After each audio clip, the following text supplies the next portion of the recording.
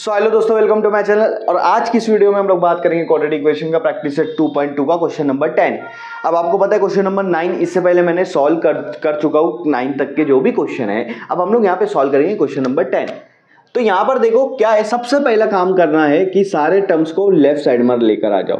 25 five M square nine जो है right में लेफ़्ट में चला जाएगा। राइट में प्लस में लेफ़्ट में कहा आ जाएगा? माइनस तो ये आपका आ गया क्वाड्रेटिक इक्वेशन राइट में ज़ीरो और लेफ़्ट में सारे टर्म, ठीक है? लेकिन अगर आप देखोगे जनरल फॉर्म को देखोगे क्वाड्रेटिक इक्वेशन का तो वो ये है a x square plus b x plus c equal to zero a x square plus b x plus c equal to zero अब आप देखो ए एक्स स्क्वायर वाला टर्म यहाँ पर है एक्स की जगह पर एम यूज़ किया है।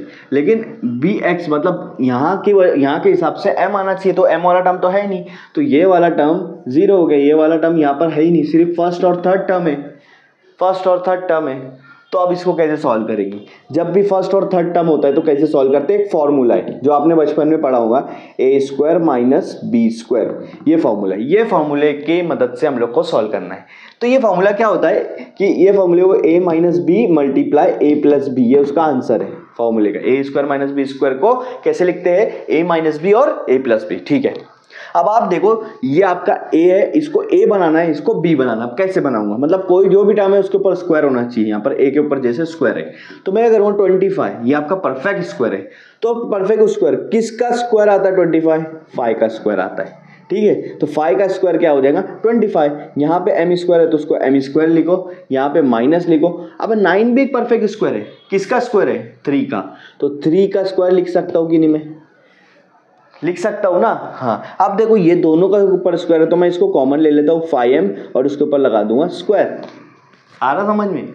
इसके बाद ये थ्री का स्क्वायर तो अगर आप देखोगे ये एक ये ये जो अंदर वाला टर्म है यहाँ पर देखो स्क्वायर के नीचे ए है यहाँ भी स्क्वायर के नीचे ए बन जाएगा। मतलब फाइव एम तुम्हारा क्या है? ए है। ए क्या है? फाइव एम तुम्हारा क्या है? ए है। और ये थ्री क्या है? तुम्हारा बी है। थ्री क्या है? तुम्हारा बी तो ये फॉर्मूले के हिसाब से यहाँ पर पुट कर दो। फॉर्मूला क्या है? A square minus b square का ए माइनस बी मतलब फाइव एम माइनस थ्री और फाइव एम प्लस थ्री ये दोनों उसके क्या हो गए?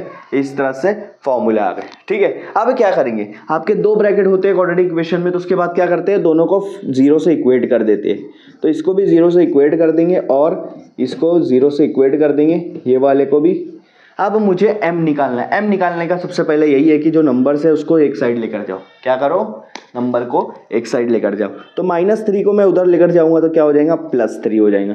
इसी तरह से ये प्लस थ्री को उधर लेकर जाऊँगा तो क्या हो जाएगा? माइनस थ्री हाय समझ में अब फाइव और एम मल्टीप्लाई में।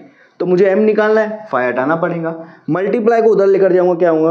उधर लेके जाएँगे तो डिवाइड हो जाएगा। तो हमारा आंसर आएगा थ्री अपॉन फाइव क्या आंसर आएगा? थ्री अपॉन फाइव और और माइनस थ्री के नीचे हम यहाँ भी फाइव को डिवाइड कर देंगे तो एम की वैल्यू आएँगी माइनस थ्री अपॉन फाइव तो यहाँ पर एम की वैल्यू दोनों तरफ़ मिल गई है. मतलब एम्स के यहाँ पे दो रूट्स हो, यहाँ पे क्वाड्रेटिक इक्वेशन है उस हिसाब से दो रूट्स निकलेंगे. एक आ गया आपका थ्री अपॉन फाइव और एक आ गया आपका माइनस थ्री अपॉन फाइव तो इस तरह से ये क्वेश्चन सॉल्व हो गया है.